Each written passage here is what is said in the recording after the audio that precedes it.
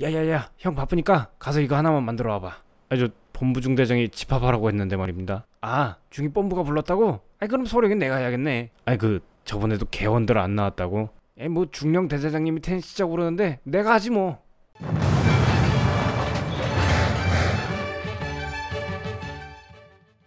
오늘은 문서 양식을 좀 더 빠르게 작성할 수 있는 한글의 상용구 기능에 대해서 알아보겠습니다.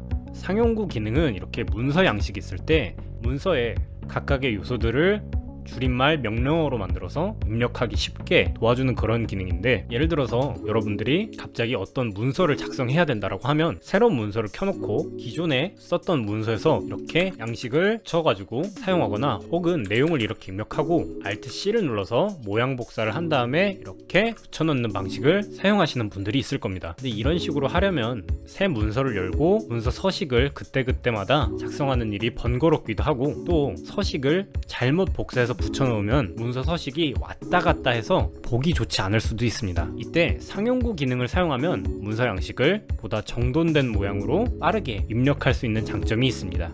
상용구 기능을 사용하기 위해선 가장 먼저 해야 될 작업은 이렇게 서식이 갖춰진 문서 양식을 하나 만들고 여기서부터 문서에 있는 각각의 요소를 상용구로 지정하는 작업입니다. 상용구를 지정하는 방법은 굉장히 간단한데 이렇게 제목 같은 경우에는 제목 부분을 드래그하고 Alt를 누르고 I를 누르면 본문 상용구 등록이라는 대화 상자가 나타납니다. 여기에 준말을 입력해야 되는데 준말은 여러분들이 명령어로 사용할 단어이고 통상 문서를 사용할 때 잘 사용하지 않지만 여러분들이 연상해서 기억하기 쉬운 그런 내용으로 준말을 설정해주면 됩니다. 여기 같은 경우엔 보고서 제목이라고 입력을 해주고 설명에 파란색 위아래 선 그라데이션 배경 이런 식으로 하고 Alt D를 눌러서 설정을 해줍니다. 그리고 첫 번째 네모 개요 같은 경우에는 드래그해서 선택하고 Alt I를 누르면 텍스트는 글자 상용구 등록이라고 나타나는데 네모 개요라고 입력을 해주고 설명에는 네모 휴먼명조 18pt 이런 식으로 입력해주고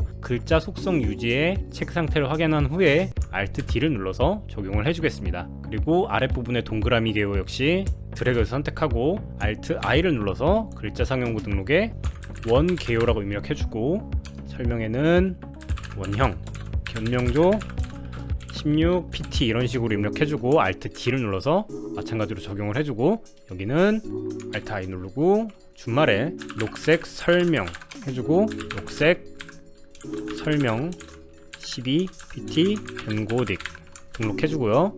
예를 들어서 이런 표도 드래그해서 선택하고 Alt I 눌러서 준말에 표 1 이런 식으로 등록을 해줍니다. 그리고 마지막에 이쪽 서명란도 Alt I를 눌러서 서명란 이렇게 해서 등록을 해주고 전체 여러분이 필요로 하는 서식을 등록 완료했으면 이제 새로운 문서에서 작업을 하면 됩니다.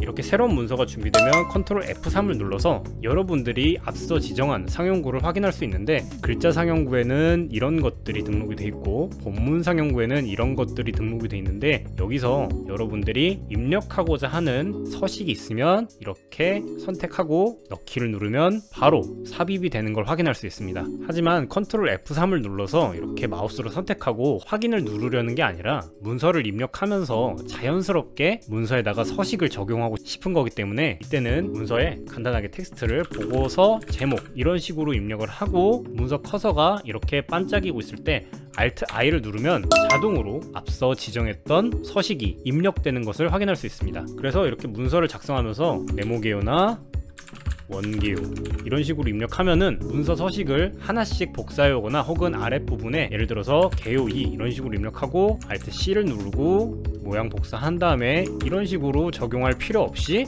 간단히 밑에 이런 식으로 입력을 해주면은 바로바로 바로 여러분들이 원하는 서식을 한글 문서에 입력할 수 있습니다. 상용구로 지정하고 활용하는 방법은 정말 무궁무진하기 때문에 이렇게 문서 양식을 통째로 선택해주고 Alt I를 눌러서 보고서 양식 1 이런 식으로 지정을 해주고 새 문서를 불러와서 보고서 양식 1 이렇게 한 다음에 Alt I를 누르면은 여러분들이 앞서 작성했던 문서 양식이 그대로 입력되는 걸 확인할 수 있습니다. 그래서 이런 식으로 보고서 양식을 여러분들이 작성해서 등록해 놓으면은 아 어떤 보고서 양식 만들었는데 양식 어디에 저장했지 이런 식으로 생각하고 그 문서 불러와서 작성할 필요 없이 새 문서 열자마자 바로 상용고를 입력해서 처리할 수 있기 때문에 문서 작성 시간을 훨씬 단축할 수 있습니다.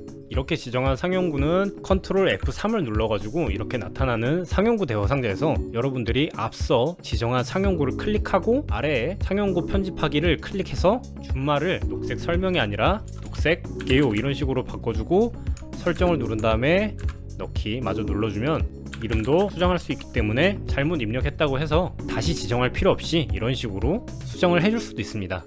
물론 이런 방법 외에도 문서에 스타일을 적용할 수도 있지만 만약에 여러분들이 간단한 문서를 빨리빨리 작성해야 된다 하면 이런 식으로 상용구를 등록해서 활용하시는 방법 하나쯤은 업무의 무기로 활용할 수 있으시길 바랍니다. 영상이 많은 도움이 되셨는지요? 도움이 되셨다면 좋아요, 구독을 눌러주시면 저에게 많은 힘이 됩니다.